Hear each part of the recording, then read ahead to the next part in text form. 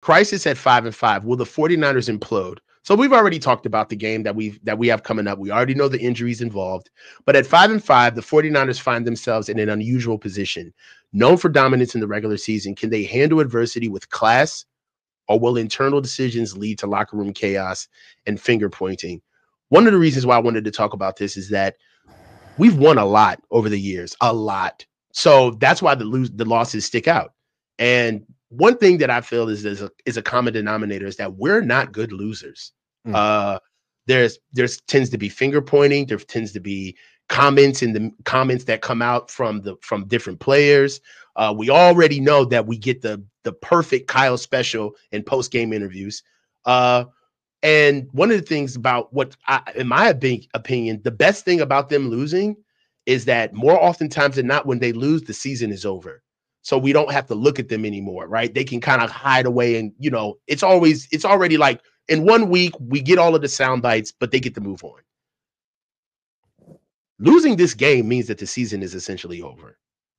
What do you see for the rest of the season if they start losing games right? If we don't get brock purdy against the bills right?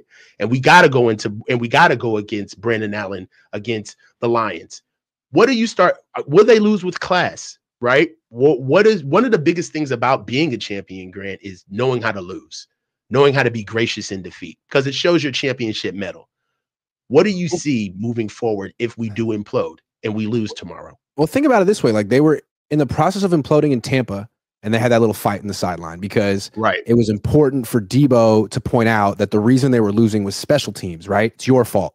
And mm-hmm. I think there was a lot of that, like when the night, like the first 10 games of the season. Why are we not that good? Oh, it's special teams. No, it's red zone offense. No, it's it was a lot of like, you know, a, a lot of the whole team had to like actually look in the mirror. Is it me? Mm-hmm. Yeah, it is partially you. But now that that Brock's out and they lose this weekend, oh, well, we didn't have our starting quarterback. Easy. Like no one mm-hmm. has to look in the mirror anymore. So I think right. all of a sudden the finger pointing and the angst, it's over. Like everyone's, it's it's dead. It's over, and mm-hmm. you can just kind of point at Brandon Allen without pointing at him. It's all understood. It's all his fault. And mm-hmm. uh, no, it's it's it's not the run defense. It's not anything. It's just that, that we don't have our starting quarterback. And I think that's kind of freeing for them a little bit. But at the same time, like maybe they will rally around Brandon Allen. I just think they're going to score ten points, lose a lot, and be like, well, not this our fault. What it is. This is what it yeah. is. Not our fault. Yeah. Well, all right. If Brock does come back, let's take the injury excuse out of it, right? Because what what we have right now, we do have injuries, but it just seems to be that they're timely injuries at the wrong time, right? We really need our guys to be here.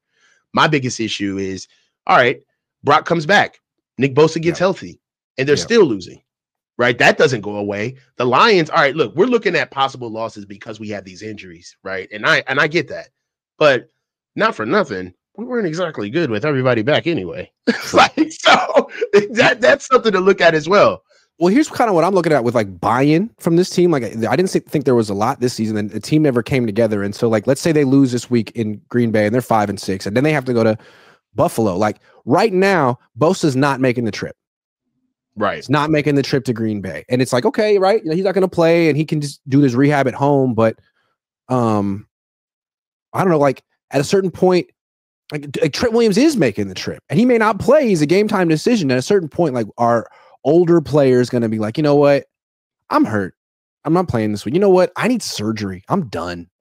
Yeah. I, that's the kind of thing that happens. Uh, like some instead of like playing it out to the bitter end, people just kind of start dropping off. You know what? I'll see you guys next year. I'm out for yeah. legit reasons.